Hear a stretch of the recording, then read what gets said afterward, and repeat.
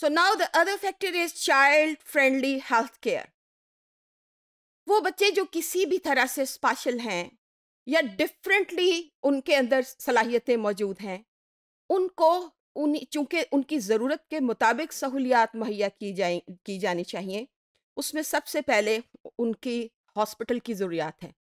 कुछ तो ऐसी डिसेबिलिटीज़ हैं कि जिसमें डिसेबिलिटी तो है, लेकिन दर्द नहीं है, तकलीफ़ नहीं है।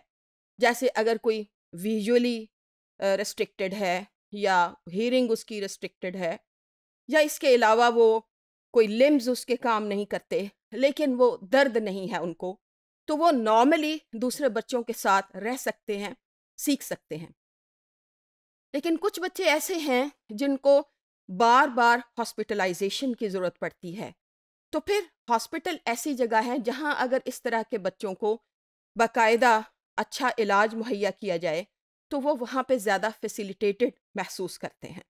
तो कुछ जैसे मैंने अर्ज़ किया, ऐसे हॉस्पिटल्स भी हैं, जिनके अंदर इन बच्चों को ना सिर्फ़ उनका इलाज किया जाता है, बल्कि उनकी तालीम तरबियत का भी इंतज़ाम किया जाता है।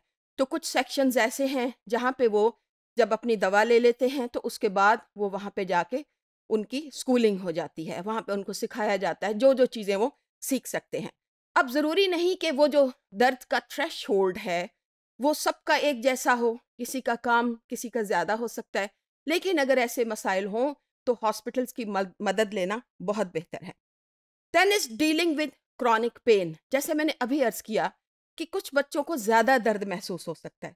और फिर ये भी कि आम बच्चा जिसने दर्द ही देखा है, वो काफ़ी हद तक तो वो अपनी लाइफ को उसी तरह नॉर्मलाइज कर लेता है और वो समझता है कि ये उसके लिए नॉर्मल फिनोमेना है।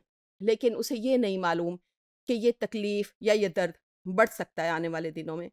सो so, ये आ, हमारा काम है कि हमारे डॉक्टर्स और हमारे इंस्ट्रक्टर्स जो हैं वो उसको सूरत हाल को समझें और वालदेन को लूप में लेते हुए इन्फॉर्म करते हुए सारी सूरत हाल के मुताबिक सबसे पहले तो अवेयरनेस पैदा करें उसके बाद डॉक्टर्स को और इंस्ट्रक्टर्स को इकट्ठा बिठाकर बच्चों के बारे में जो स्टेप्स लेने हैं, जो इलाज करना है, जो तरीक़ाकार इस्तेमाल करना है, उसके ऊपर चीज़ों को तय किया जाए वक्त से पहले।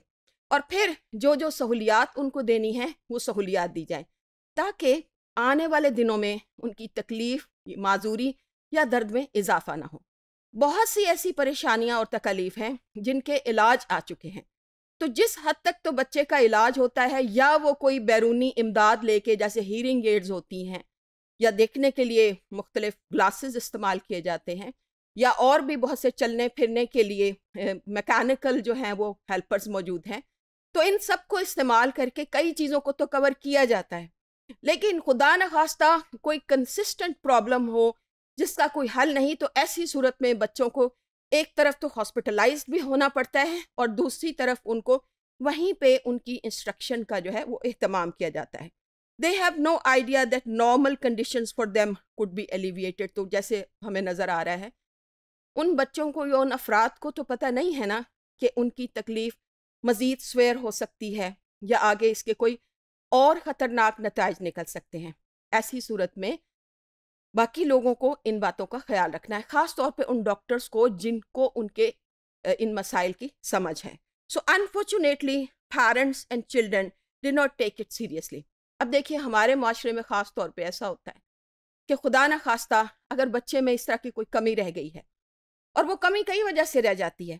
कभी तो ऐसा होता है कि बाय बर्थ बच्चों में प्रॉब्लम्स आ जाते हैं।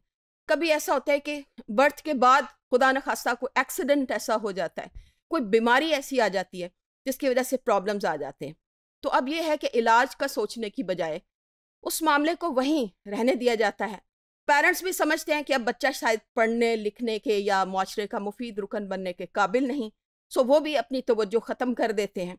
या दूसरी सिमत में ले जाते हैं कि बस इसका इलाज ही होगा, अब इसकी तालीम नहीं होगी। या अगर तालीम मुश्किल है, स्कूल दूर हैं या कोई और ऐसा मसला है तो फिर इसको वो इग्नोर करते हैं। और यही वो पॉइंट है जहाँ पे गवर्नमेंट को, एजुकेटर्स को और डॉक्टर्स को वालदेन का साथ देना चाहिए।